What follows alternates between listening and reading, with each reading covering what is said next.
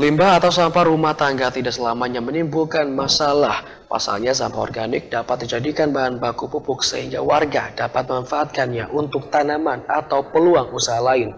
Inovasi yang ditawarkan para mahasiswa ini diharapkan dapat memberikan solusi bagi warga Sukamukti, Kota Banjar. Limbah organik yang belum dimanfaatkan dengan baik oleh warga mendorong para mahasiswa KKN tematik LL Dikti Wilayah 4 memberikan solusi. Mereka mengajak warga untuk mengelola sampah organik menjadi barang yang memiliki nilai manfaat. Para mahasiswa ini menunjukkan cara mengolah sampah organik menjadi pupuk yang dapat digunakan untuk tanaman pangan maupun tanaman lainnya. Sejumlah program kerja mahasiswa yang lain pun dijalankan dengan baik.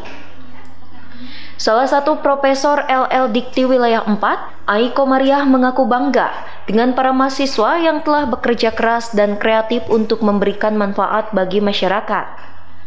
Bahkan para guru besar mengapresiasi karya atau produk nyata yang ditunjukkan para mahasiswa kegiatan uh, para mahasiswa KKN tematik LLDT wilayah 4 hasilnya sungguh membuat saya bangga.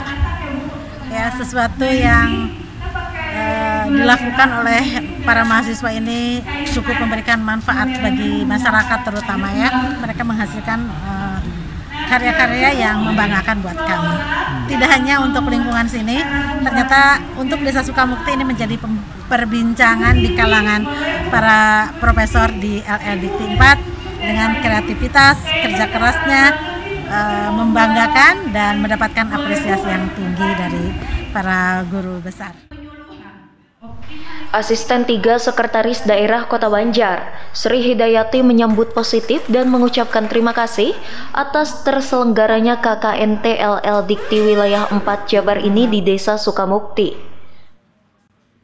Kasih untuk Bapak Ibu dosen, kemudian Lembaga Layan Dikti yang sudah mau mengembangkan kegiatan KKN-nya di lingkungan masyarakat Kota Banjar.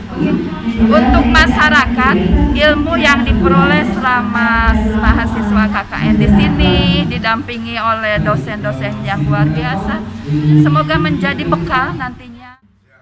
Sang profesor berpesan kepada mahasiswa bahwa mereka harus memiliki cita-cita yang dapat memberikan manfaat bagi masyarakat. Akademisi termasuk mahasiswa diminta dapat menjadi menara air sehingga masyarakat dapat mendapatkan kesejahteraan. Dari Kota Banjar, Sukirman Radar TV melaporkan.